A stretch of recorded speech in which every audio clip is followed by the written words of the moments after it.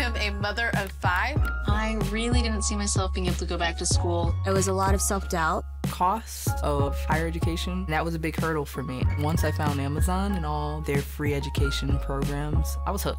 Amazon's footing the bill for it, so we're gonna take advantage. I'm able to work towards a degree in computer and electrical engineering, network engineering, environmental engineering. It makes me feel confident I can get to the next level. I feel like the sky's the limit.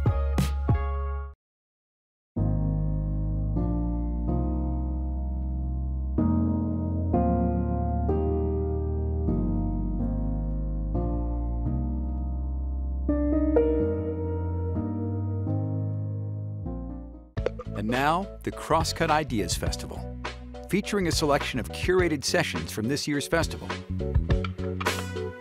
Thank you for joining us for A Third Party with Andrew Yang, moderated by M. David Lee III. Before we begin, a special thank you to our title sponsor and politics track sponsor, Amazon. We'd also like to thank our founding sponsor, the Kerry and Linda Killinger Foundation.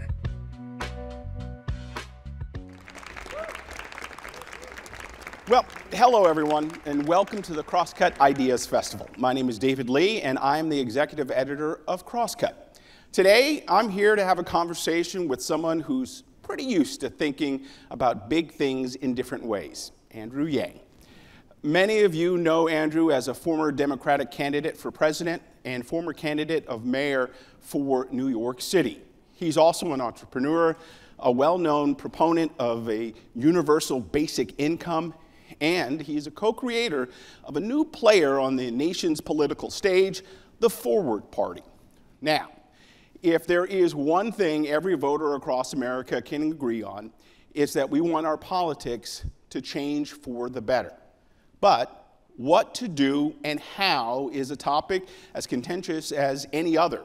Today, with Andrew, we're going to zero in on one idea this new party with big ambitions and some very big challenges and learn what can we do about everything to change things and make it take. Ladies and gentlemen, Mr. Andrew Yang. Thank you. Thank you. It's great to be here. Thanks for having me, David.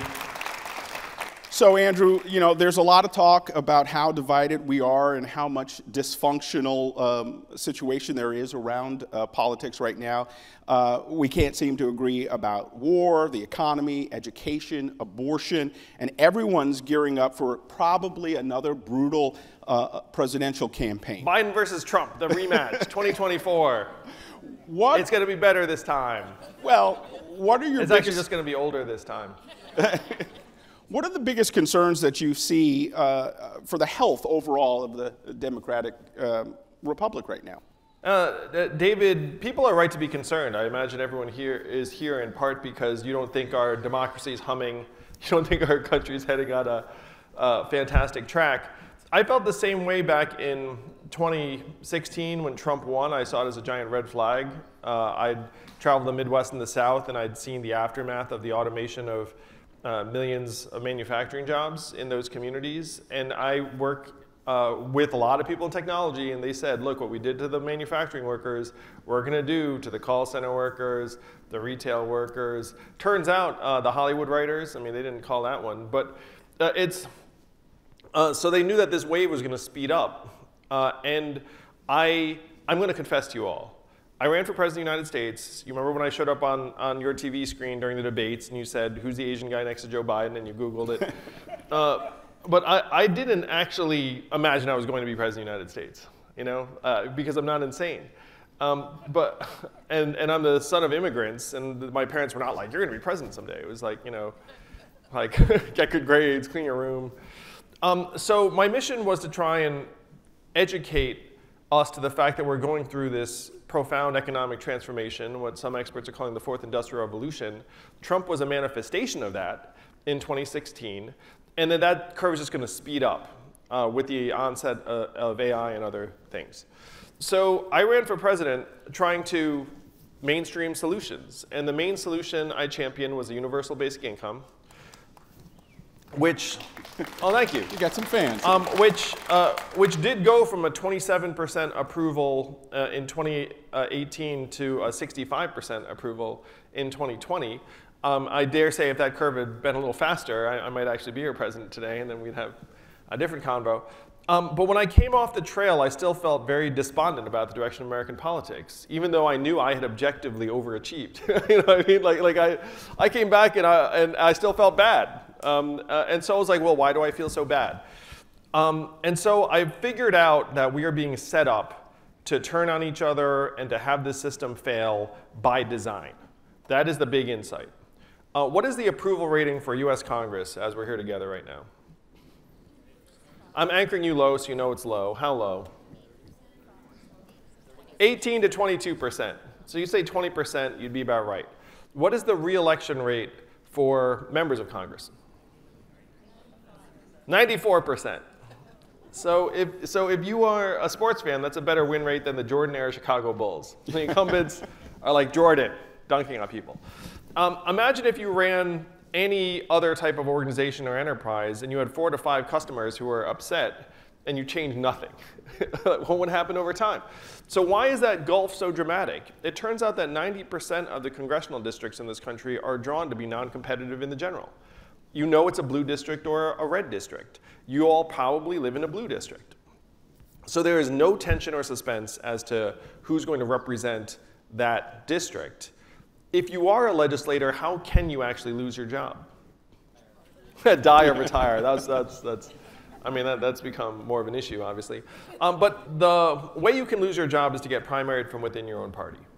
So imagine being a legislator and being completely beholden to 10 to 12% of folks on the extreme. There were 10 House members who voted to impeach Donald Trump. How many of them made it back to office? Two. Uh, you know, and of the eight that didn't, their names like Adam Kinzinger and Liz Cheney and Peter Meijer. Um, uh, and so if you're in the system, you get, okay, if I want to keep this job, I just have to not piss off the 10 to 12% on the extreme. And that's a distortion, and I'm saying it's a distortion on the right, which it is. There are other distortions on the left. Um, so you have this system that pushes people to the sides, and then makes it so that if they reach across the aisle, it was a US senator who said this to me an issue is worth more to us now unaddressed than addressed. Because if we don't address it, I can get you mad, I can raise money, I can get votes on it. What happens if I lean across the aisle and try and solve it? My base turns on me, I'm ideologically impure, I worked with the enemy, I get primaried, my job security goes down.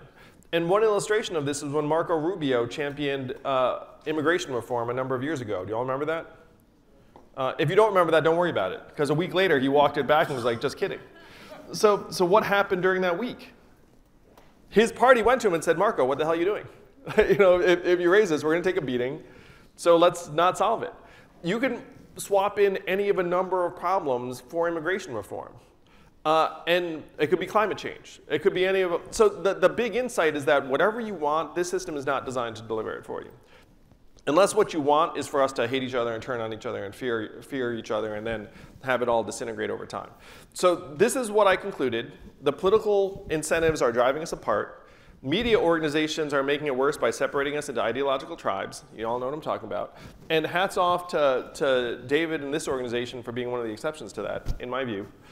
Uh, and then you have social media pouring gasoline on the whole thing. What do y'all think? Is that a reasonable description? Yeah. So that is the situation we are in. Uh, and the question is, how the heck do we get our way out of it? How the heck do you actually get your way out of this? Now, I'm a practical person, I'm an operator, and there is a real life solution, concrete, proven. And it comes from the great state of Alaska. Um, so, Alaska in 2020 voted to get rid of their party primaries and replace it with an all uh, party primary with ranked choice voting. How many of you knew that? You raise your hand on that. Wow, this is a, like a political crowd. Holy crap. Um, that's why you're so unhappy.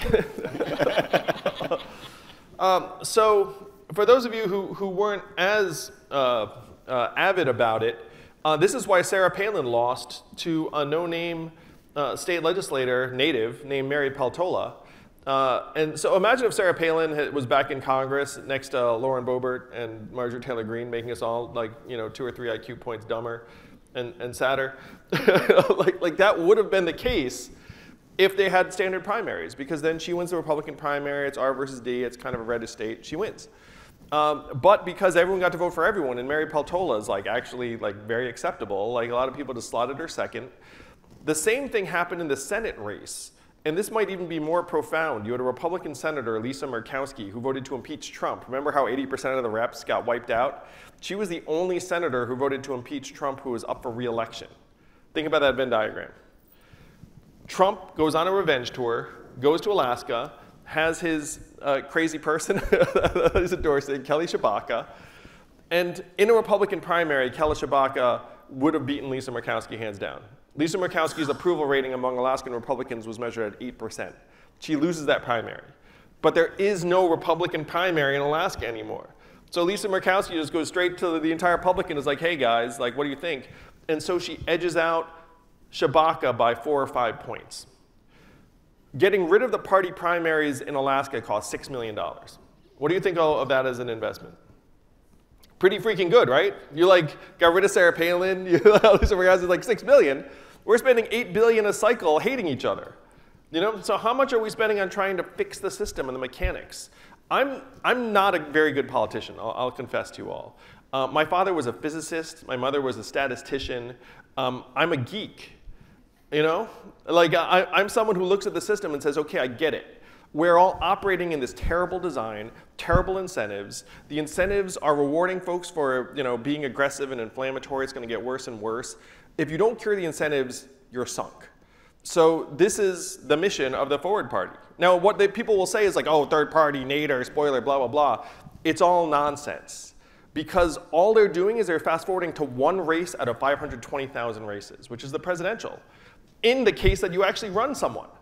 You're here in Seattle, this is a non competitive zone, just like 75% of the country. You have a one party system here in Seattle. It's the Dems. A lot of you are Dems, but even if you are a Dem here in Seattle, you might not be pumped about what's happening or not happening in Seattle. And you know what your choices are? None. you have like zero, zero like uh, agency uh, in it. The Democrats have that stuff wrapped up, and then they'll be like, hey, what are you going to do? And, and, anytime there's a seat that opens up, what is the only question? Who's next in line? You know what I mean? You have this system that's just churning through people while it fails us over and over again. They pretend there's competition, there is not. In three quarters of the country, what they'll do is they'll point to the folks on the other end of the uh, side of the aisle and say it's their fault, it's their fault. They are nowhere near this scene of, of what it is that you're concerned about. I've traveled the country, Iowa, Ohio, all over the place. You know, there are people in rural America, they're questioning what the heck is happening to their family's future, their future. They are not your enemy. They are not our enemy. The only enemy is a system that is going to tear us all apart. Okay, so Andrew, let's talk about that then. You are talking about the Forward Party, a third party that you know is is new. Um, what is it going to take for the Forward Party to make some inroads, and who is a Forward Party voter? Uh, so, the fun part about what we're doing with the Forward Party is we're actually doing all the blocking and tackling and jumping the bureaucratic hurdles that stand in the path of the, you know, frankly, majority of Americans right now who'd want something different. Right now, about 25% of Americans say they're Democrats, about 25% say they're Republicans, and about 50% say they're independents. Uh, but this, the, the parties control everything, uh, and those parties are controlled by sort of the extremes within their ranks. So if you want to build a national party, it turns out what you're doing is you're building 50 state parties and then one uh, national umbrella. You're building 51 organizations. So the Forward Party, which we started 18 months ago, is already the third biggest party in the country by resources, recognized in six states, executive committees in 12. Washington should be uh, up and running by September of this year. Chapters in 47 states. You know why? Because everyone's fed up. Now, the way you overcome the obstacles is on a state by state basis. So every state has its own rules. Washington's rules are that if you're a new party, you essentially are competing uh, via like a political action committee very often. Um, and that in order to become a major party in Washington state, you'd have to run a statewide candidate, do some things. So we're very, very tactical and practical in every environment. David, uh, the fact is, again, 70% of these 520,000 races around the country are uncontested or uncompetitive. Um, so when you arrive near the Forward Party, everyone's going to be like Nader, da da da. It's like, no, we're not talking about Nader. We're talking about your school board. We're talking about the fact that, like, the county executive position or the nonpartisan mayor's position, like, half that stuff is uncontested. The insiders have it. And at your downside, if you support the Forward Party, is just that the party in charge, in your case, Democrats, actually has to respond to you and shape up. They do not have to shape up right now. It doesn't matter. You don't matter if you had some kind of competition, then they'd be like, oh, wow, like maybe we have to actually start like delivering on schools or public safety or homelessness or you know like substance abuse or whatever the issue is, because someone might vote a forwardist in, and a forwardist isn't coded as racist or anything else. You know what I mean? Like the, the game is like if you were to run as a Republican in, in Seattle, it's a non-starter. It, it like it's over before it starts. You run as a, a forward party member, no one knows what the hell that means. You know what I mean? They'll look at it and be like, I have no idea what this person's uh, party affiliation means, so I guess I have to meet them. I guess I have to listen to them. I guess I have to go to their website. Like, you have billions of dollars inflaming us and pretending we're in this ideological war. You know why? Because that's how they're making money. That's actually the only the way they can survive now.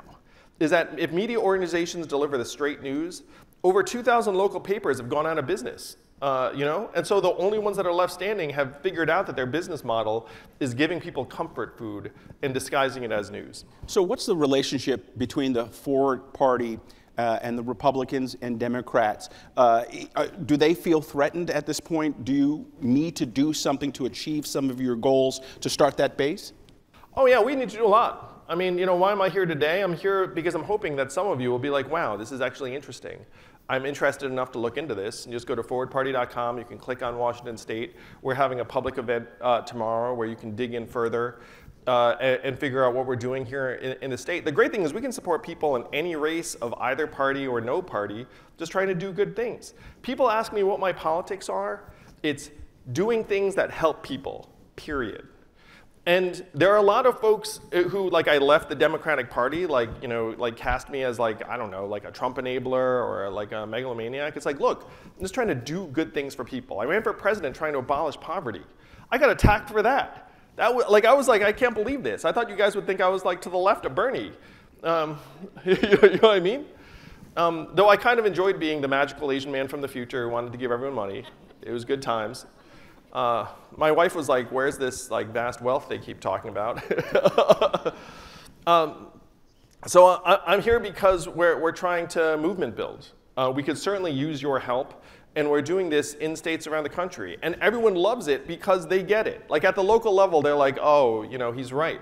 Like I don't have any meaningful say. Like, you know, my kids, like, you know, like are, um, either wrapped up in social media on like uh, you know national ideological issues or checked out of local politics. Are there one or two specific policies that you could look at the Forward Party and say this is what they're standing on, this is what they're building on? Oh yeah, and I want to use this as an illustration. So I said Alaska, right? Six million turn out the party primaries. You said, wow, they did that. Like how much did that get reported? Not much, even though some national. Uh, you know, na nationally important races were, were directly impacted.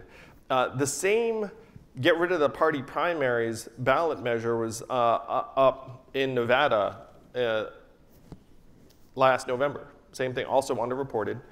Um, so both parties came out against it, and, and this is to your point, David. It's like, what's the Forward Party about? The Forward Party is about just reconnecting people to your elected representatives. They say you're connected now, you're not. It's a fiction. Uh, you, what, they, what we have to do is actually make it real again. We have, we have to make it so that it's not getting filtered through a party system that is designed more to serve special interests than constituents. So in Nevada, they actually put this up and said, hey guys, how about you get rid of the party primaries? Anyone can vote for anyone. Republicans came out against it, Democrats came out against it.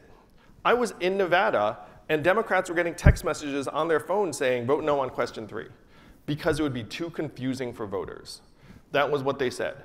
What is the real answer? the Democrats went to their consultants and said, hey guys, where are we on getting rid of the party primaries? And the consultants were like, we hate it. Because right now we can predict how we're going to win. We know the win number. We know like how to get those votes. You let anyone vote for anyone, all of a sudden we don't know who's going to win. And that is the enemy. So the Democrats and Republicans came out against it, but Nevadans still voted for it. And the winning advertisement was a military veteran looking at the camera saying, I went overseas to defend the country. I came back. I cannot vote in our primaries. And I don't think that's right. And a majority of Nevadans were like, oh, yeah, that guy should be able to vote. Think about it. Both parties come out against it, and Nevadans approve it. So when you say, what does the Forward Party stand for? The Forward Party stands for that. The Forward Party stands for actually making it so that you have control over your own future. Now, Andrew, before uh, you focused on politics, you went all in on universal uh, basic income. Given the state of our economy today and what economic policies do you see as um, something that you would like to see passed moving forward? One of the most heartbreaking things that happened over the last couple of years is that we lifted, well, this part was good. Um, we lifted millions of American families out of poverty with an enhanced child tax credit that put four or five hundred dollars um, per child per month into families' hands. And then what did we do because of our dysfunction? We took it away. We took it away at the beginning of last year. And when we took it away, I actually thought January 15th, 2022, millions of families are going to wake up and not get the money that they've been getting for months. And I was wondering, were you going to see protests? Were you going to see news stories? Were you going to see, and you're shaking your head, what happened? Nothing. And it turns out that those millions of American families who are on the edge of poverty do not have the bandwidth or flexibility to go and protest, to show up in the streets, to march in the Capitol, to show up in the Congress. All that happened to them is we just plunged them back into poverty, and then they, you know, were scraping furiously to get by. And that broke my heart um, because I ran for president on trying to alleviate poverty. I started a lobbying uh, uh, organization to push for anti-poverty measures and cash relief that's still in DC doing that work today, Humanity Forward. Uh, and then they took it away. Uh, and, and, so, and there was no outcry. You know, and, and, so you have to ask yourself, like, what kind of country are we living in where that's the state of affairs? And, and it's we're, we're at a point where most Americans do not matter um, in terms of what happens. Uh, at a policy. By the way, that was a Princeton study. They actually looked up like what do people think and want and then what we get, and there was no relationship. Um, if they took the top 10%, all of a sudden there was a positive relationship. So, uh, so people are being presented with a story as to how they can change this powerlessness that they feel. And the Forward Party is a genuine, positive, productive, constructive way to restore that sense of the, the reality of that power uh, to the American people. In the absence of something like this, what story will they be fed? It's these people's fault, hate them, uh, let, let's tear it all down. That story, by the way, is winning in American life. You know, and, and, and the story that they're getting uh, it, on the other side is like, like you are um, immoral and evil for thinking and feeling these things. The Forward Party story is look, the system is broken for you, the system is broken for you, let's fix it for real. Uh, one quick question about artificial intelligence. It's oh, please. Really, no, I'd, I'd, love it. It's really exploded. Um, and uh, is it possible and is it necessary for the future of this country to roll it out responsibly? Oh, yeah. I mean, the, the incentives right now are going to tend towards disaster, truly. Um, because you have mega tech companies like the, you know, like the one across the street um, that, that uh, have massive incentives to go fast, fast, fast. They're competing with each other. Look, this is one of the only times in our memory that the major firms are raising their hand saying, look, you should probably regulate us on this. you know what I mean? Uh, and if we don't heed that, which we probably won't, think about the American regulatory approach to social media. What has it been? No one knows still. You know what I mean? Incoherent. Section 230 was written in the 90s before Facebook was even started in 2004. So we're left with this like bizarro broken, by the way, no repercussions again. It's like they just keep on rattling around. Um, it, it is a byproduct of having uh, DC on like a 25 year tape delay. Uh, so, so having that kind of tape delay with AI is going to be catastrophic. And my, uh, my friend actually, she's a very, very optimistic person. She said like, Andrew, how bad can it be? And I was like, you know, like unwarranted military conflict, uh, mass identity theft, complete disintegration of the public consciousness and discourse, you know. And she was like, "Wow, when you put it that way, it sounds pretty bad." And I was like, "Oh yeah, it could get very, very bad." Um, so, uh, so that that is where we're heading uh, if there isn't a massive institutional response. My mom, who I love, uh, we went to a, uh, a, store, a big box store, a little while ago. I was visiting her with my daughter, and uh, we were going through the checkout stand and I wanted to go through, you know, the automated stand, just get through. There was no line, and she was like, "No, you got to go through, you know, a, a, regular line. These people have jobs. Uh, you know, we need to support them." Um, what is that relationship? What do I say to my mom as we look into this future uh, with some of this AI? You know, um, I, I, would just say, okay, like, you know, like, you, you should do what you want to do, mom. Um, uh, and she's right in that being a retail cashier is the second most common job in the US economy. Um, but we all know that those jobs are going to shrink in number. Uh, there aren't enough of your moms, you know what I mean? There are more of you and of me, frankly. I mean, I, will I'll go straight to the automated line. So, uh, what are the five most common job categories in the United States? Number one, administrative and clerical, including call center workers. You can see where that's going to go. Number two is retail. Number three is food service and food prep, which is going to be among the most resilient because those workers are really cheap. Number four is truck driving and transportation. And number five, believe it or not, is still manufacturing. Um, what percentage of American jobs are in those five categories? About half. What percentage of Americans do not graduate from a four-year college? About two-thirds. So you have a population that's majority high school grads, and we're going to decimate those jobs very, very quickly. Uh, and, and, there's not even a straightforward conversation about it. We're immiserating the, the uh, bulk of this population. It, it, I mean, it breaks my heart. You know, like my, my parents came to this country for a better life for me and my brother, and it worked.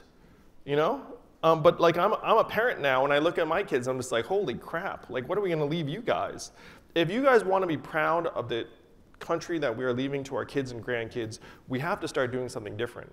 Because thinking that we're going to get the solution out of this dysfunctional system that profits regardless of what happens to us is, is not a path to any place positive or meaningful. All right, Andrew Yang, we are officially out of time. Thank you very much for joining us today. Um, and uh, thank you all for being a part. Thank you, Seattle. It's great to see you all. It's great to be back. Thank you, sir. Thank you, David. Appreciate your time. Thank you. Thank you.